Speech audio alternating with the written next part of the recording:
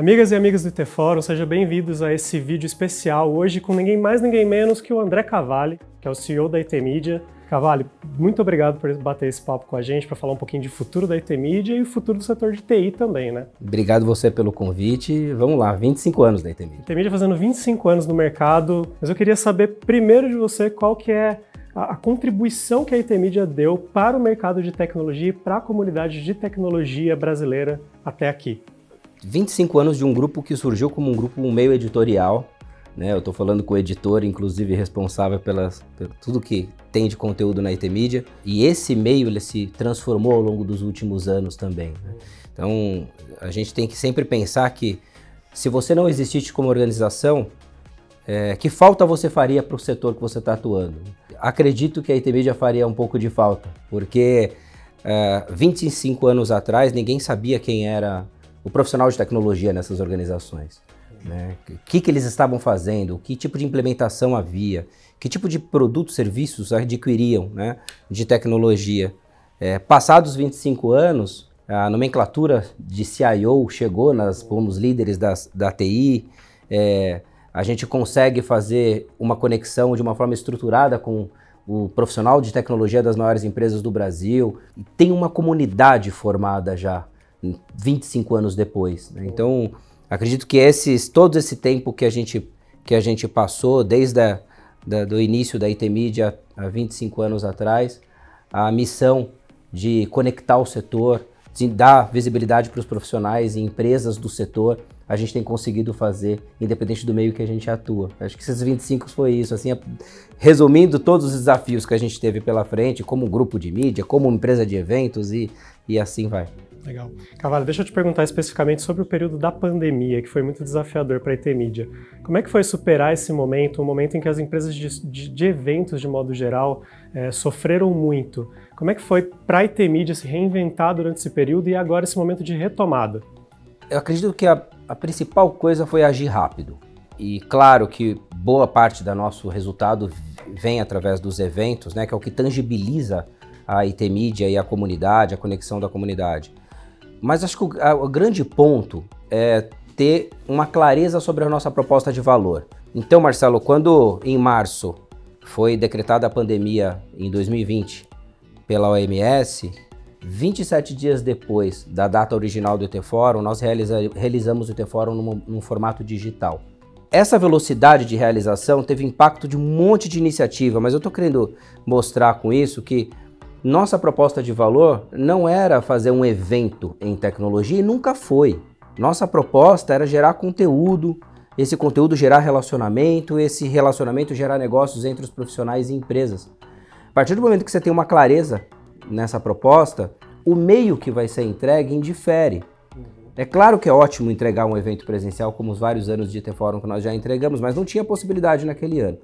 Eu acho que essa agilidade, essa clareza da proposta de valor para entregar para o público fez com que a gente é, saísse, teoricamente, desse final de pandemia muito bem. Eu tenho certeza que a IT Media, e já ouvi de vários, inclusive competidores, de grupos internacionais, que a gente é um case. É, a gente saiu, é, em 2021 a gente já estava com os resultados próximos dos resultados é, de 2019. E agora a gente está construindo né, e galgando agora esses próximos 25 anos com o aprendizado da própria pandemia. Entendemos que cada fortalecemos cada vez mais que a nossa, nossa proposta não é o meio, é, ele é um caminho. É, a gente tem que olhar o tempo todo para a comunidade de tecnologia que nós mesmos é, construímos no Brasil. São 25 anos dando visibilidade para a CIO, para os líderes de tecnologia, mostrando quem são essas pessoas e conectando com, com a indústria. O meio que a gente vai fazer essas conexões, hoje a gente faz virtual, a gente faz presencial, pode ter outros meios também. Então essa, essa acho que foi a grande é, oportunidade que a gente identificou e a gente agiu rápido para passar por essa fase que foi bastante desafiadora também, né? estava lá, eu vi. é, esses, últimos 20, esses últimos 25 anos e todo esse aprendizado que você teve, Cavalli, esse hibridismo, tudo isso que aconteceu continua isso que você falou, né? Essa questão do conteúdo para gerar relacionamento, para gerar negócio. Uhum. Isso continua pelos próximos 25 anos, né? A IT Media vai se reinventando, mas sempre sobre esses três pilares, né? Sem dúvida. E isso é um negócio que fica marcado tão forte para nossa comunidade, né? De, de executivos de tecnologia. A gente já fez algumas pesquisas de mercado por alguns anos e sempre saía esse tripé de conteúdo, relacionamento, relacionamento e negócio. É, isso nada mais é que a síntese da nossa missão, né? Essa é a síntese da missão. A gente conseguiu de uma forma bastante feliz e as histórias que surgiram depois pode ser contada pelos fundadores, o Adelson e o Miguel, que você sabe muito bem tanta história que tem. Mas essa é, é, foi muito feliz criar uma síntese de uma missão, que fica muito claro a proposta de valor quando ela é entregue. Então, para os próximos anos, é, isso não muda. Assim como desde o início da IT Media é, foi esse conceito que a gente quer manter. Cada vez mais, Marcelo, cada vez mais é, uma comunidade de profissionais de tecnologia das maiores empresas do Brasil se faz necessária. Lá, há 25 anos atrás, se fazia necessária porque você não conseguia identificar o que existia de investimento em TI nas organizações. Você não sabia quem eram as, as, as pessoas dentro da organização que estava comprando TI naquela época. Hoje a gente conseguiu sanar a maior parte dessa, dessa dificuldade porque a gente dá visibilidade para os profissionais de tecnologia e faz os eventos para aproximá-los. Mas agora os desafios de transformação nas empresas são gigantescos. É, a gente estava falando há pouco sobre a, a fase do 5G.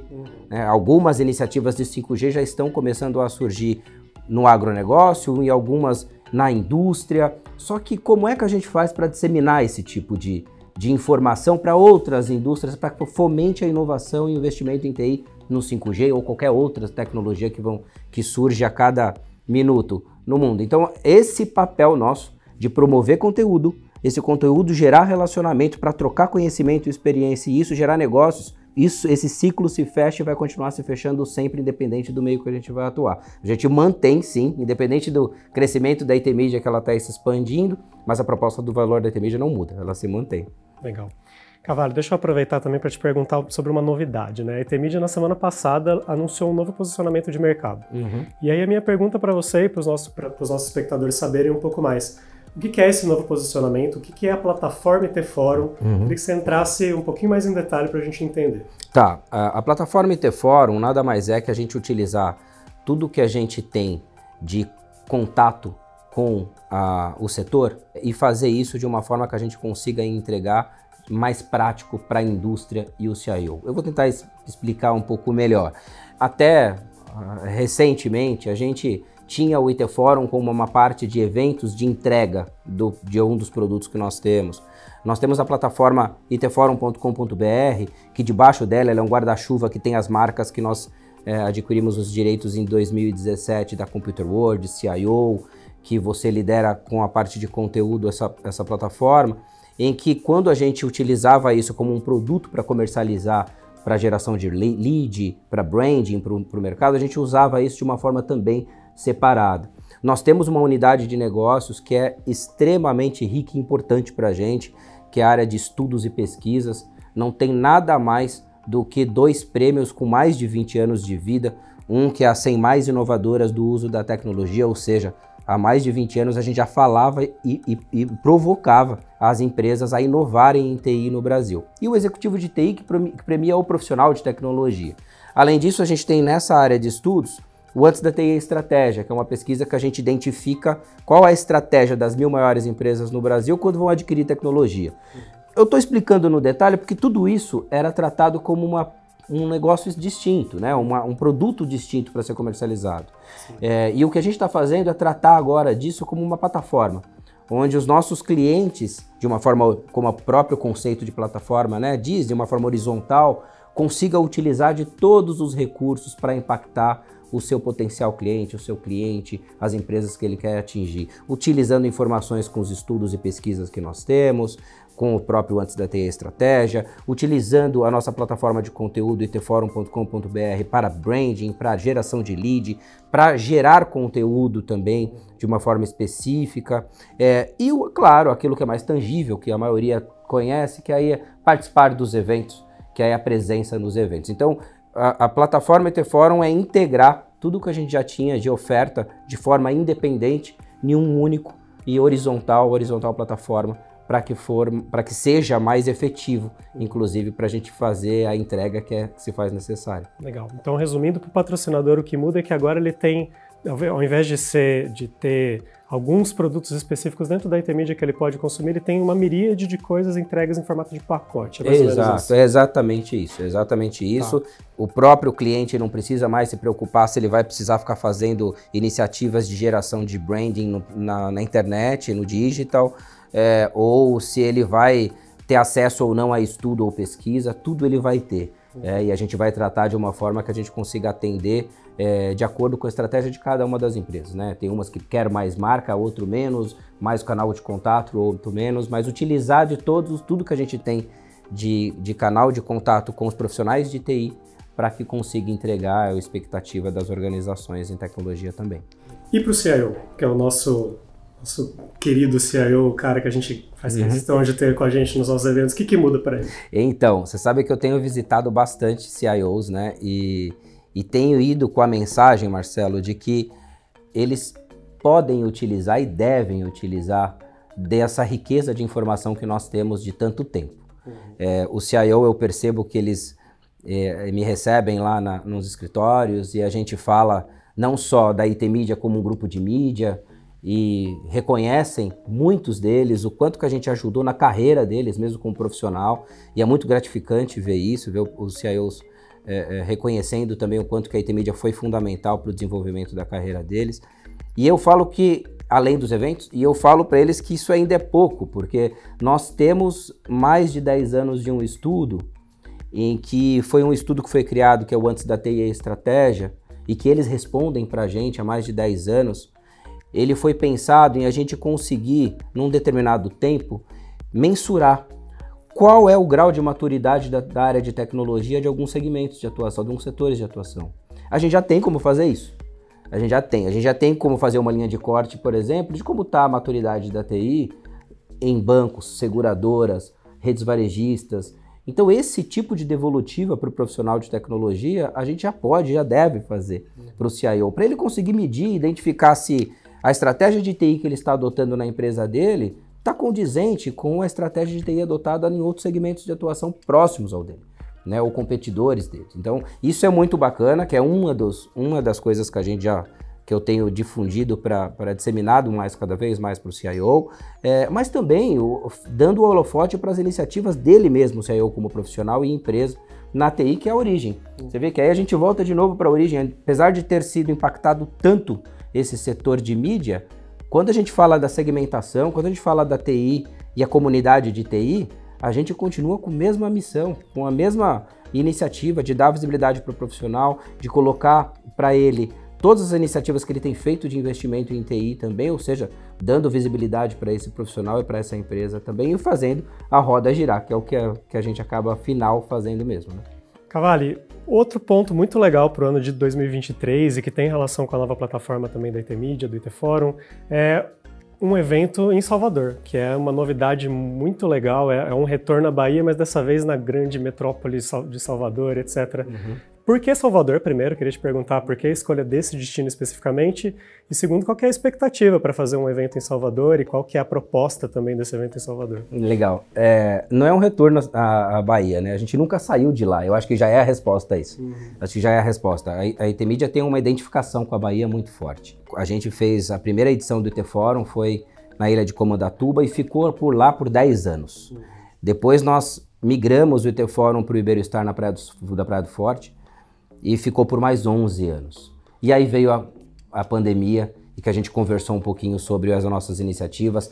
A gente aprendeu muito com isso também, que a gente poderia entregar parte do que a gente entrega no meio digital e não necessariamente precisava é, estar na Bahia para fazer parte das entregas que a gente fazia lá atrás. E aí, nesta retomada, nessa retomada de agenda, olhando para cada vez mais fazer as conexões de forma de, com qualidade estruturada dos profissionais e das empresas, a gente decidiu que não teríamos e não faríamos o IT Forum num resort novamente e que nós proporcionaríamos, proporcionaríamos num destino, como foi decidido por Trancoso em abril desse ano. Neste mesmo conceito e com a história da IT Media com a Bahia, né? O próprio Trancoso, a gente, a gente usou muito a Costa do Descobrimento como tema.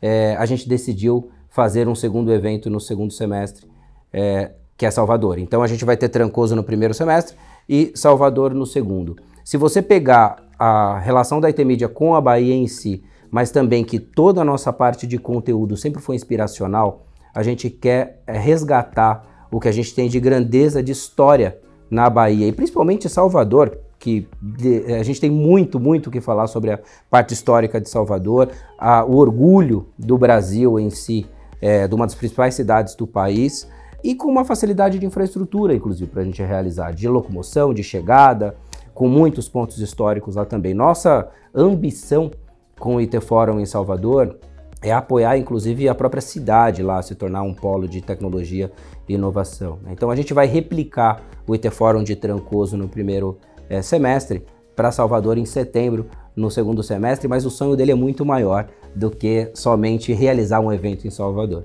Não, eu adoro Salvador, estou ansioso para chegar lá. Mas aproveitando que você mencionou Trancoso, esse ano a gente teve o primeiro IT Fórum em Trancoso uhum. e foi, inclusive, vou até fazer a, eu já, já, te falei isso antes, mas eu, quando eu, vi o tamanho do desafio de fazer um evento em Trancoso, eu pensei, meu, será que isso vai dar certo? Eu lembro que eu te falei isso. Sim, e não só deu certo, como deu muito certo. Então eu queria que você falasse um pouquinho de Trancoso. Como é que foi esse primeiro evento em Trancoso? Qual é a avaliação que você faz e qual é a sua expectativa para o próximo, é, do ano que vem? É, eu também me fiz essa pergunta, né? Será que esse negócio vai dar certo? Porque era, era uma logística muito, muito complexa. Uhum.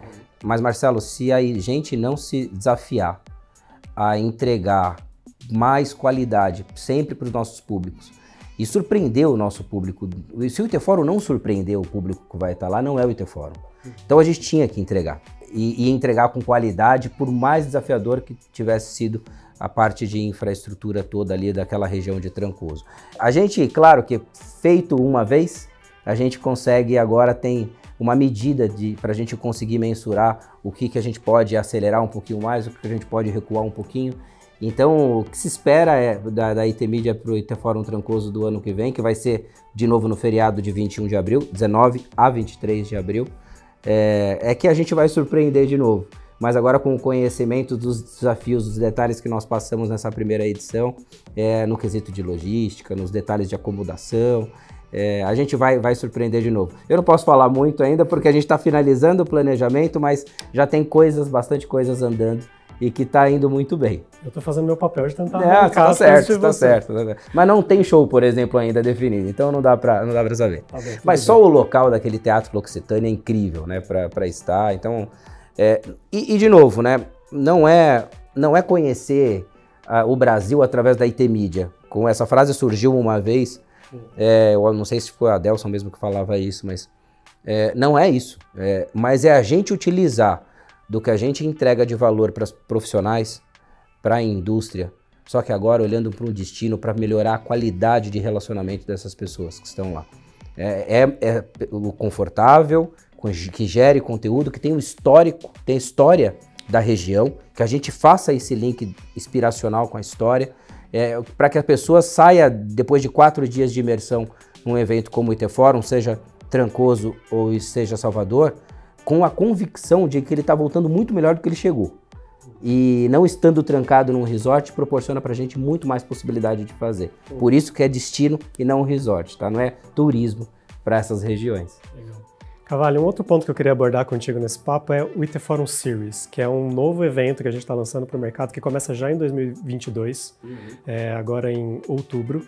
E eu queria saber, é um, um momento a mais para a comunidade de TI estar tá junta e dessa vez aqui no distrito Itaqui, que é aqui em Aldeia da Serra, em São Paulo mesmo. Uhum. Queria que você falasse um pouquinho mais, o que é o IT Forum Series? Sim, é, o IT Forum Series, ele nada mais é que parte do que a gente tem desse tripé de conteúdo, relacionamento e negócios, ele vai entregar os três, mas ele vai é, é, fomentar é, conteúdos que estão em alta, temas que estão em alta é, no ano. No ano a gente está finalizando, acho que seis temas para o ano que vem, cinco ou seis temas, mas pegar os principais temas que estão em alta no setor da TI, de investimento em tecnologia ou de desafios de aprendizado para os profissionais de tecnologia que eles têm dito para a gente nos nossos estudos é, e colocar para debater com base, se possível, em alguns cases que acontecem e que já estão acontecendo é, no setor. Eu vou dar um exemplo, a gente acabei de dar um, falar um pouco sobre 5G, né? Uhum. Então, 5G, sei que vai ser um dos temas que você mesmo está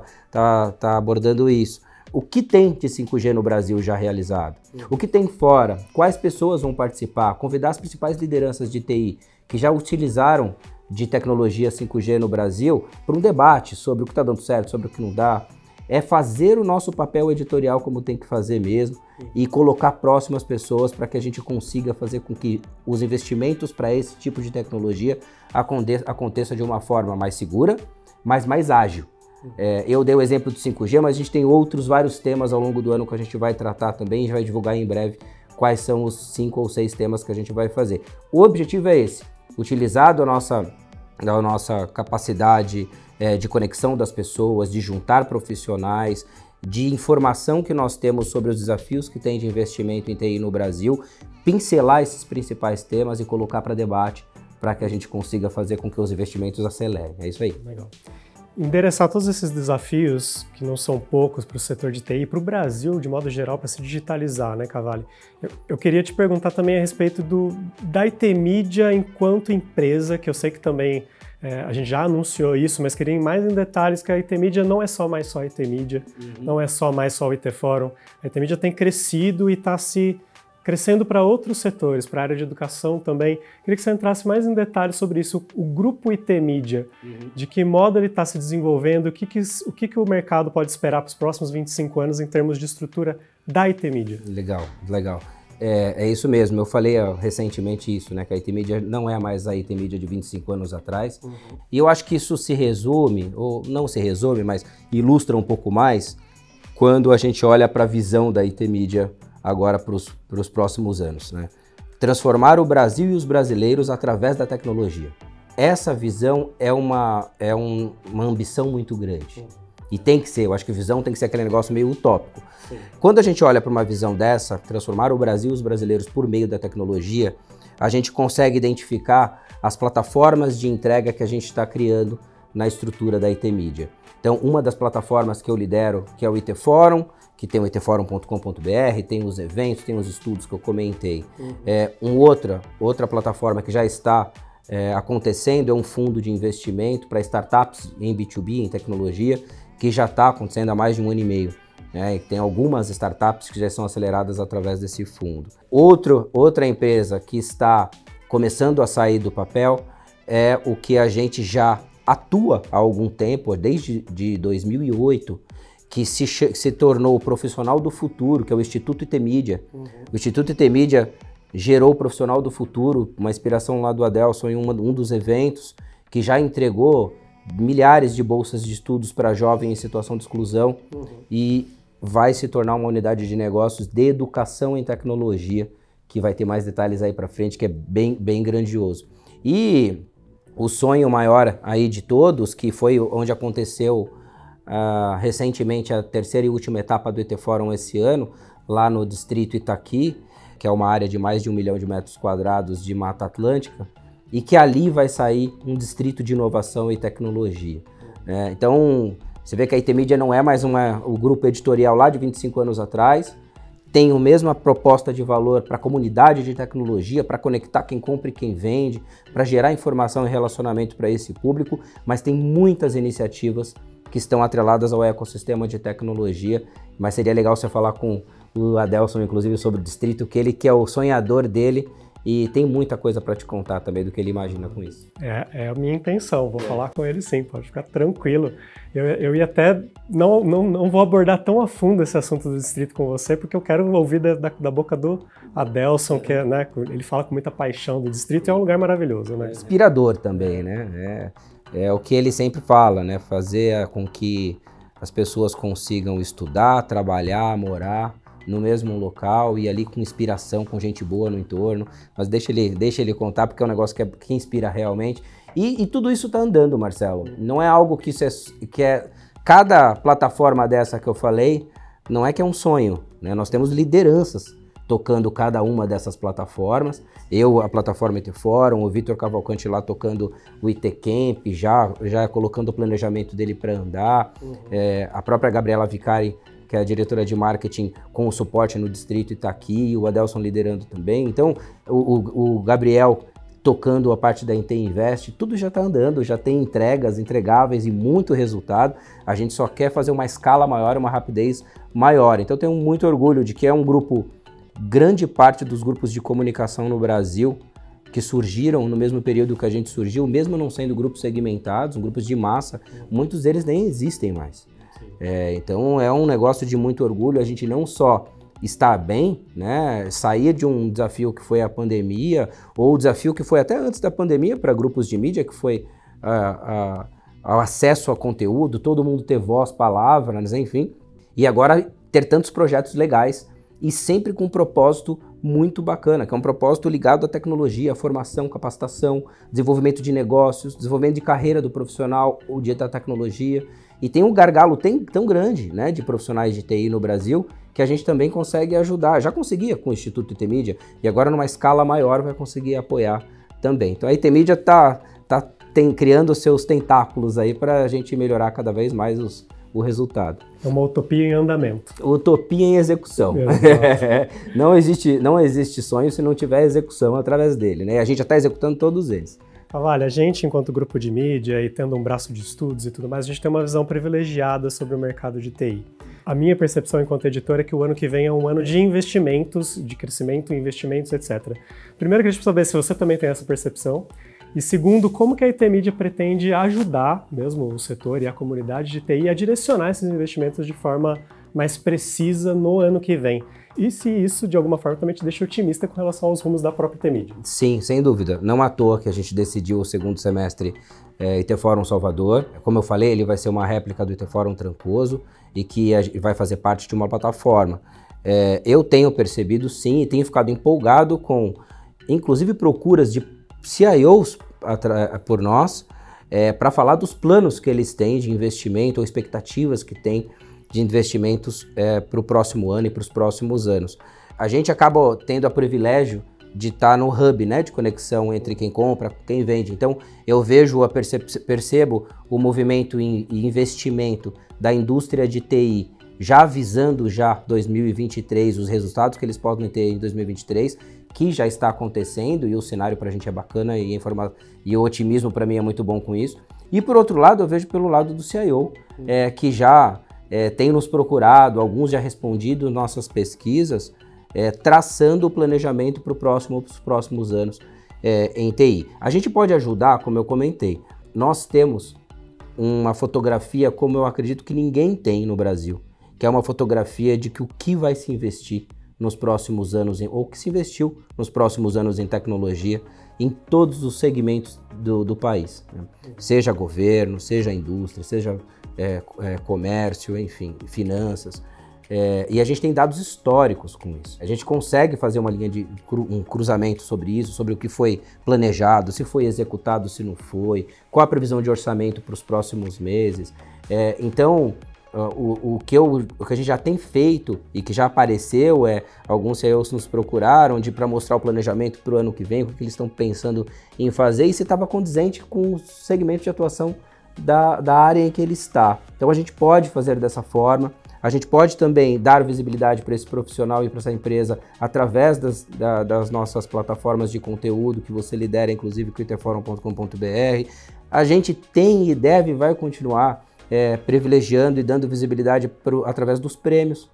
Então, o que já foi executado, inscrever os executivos, escrever seus cases nos prêmios. Então, tudo isso é comunidade, né? é continuar é, é, colocando o CIO é, como um protagonista dentro das organizações que eles atuam, como responsável pela transformação, como um cara que tem que olhar para o negócio também. A gente tem que continuar e vai continuar fazendo exatamente isso, colocando o CIO numa posição que ele tem que estar e há algum tempo, que é o responsável pela transformação nas empresas e olhando, obviamente, para negócios. Então a gente vai continuar fazendo assim. Legal. Cavalli, muito obrigado por essa entrevista. Um baita prazer falar contigo aqui. Espero que não seja a primeira vez que a gente logo se fale de novo.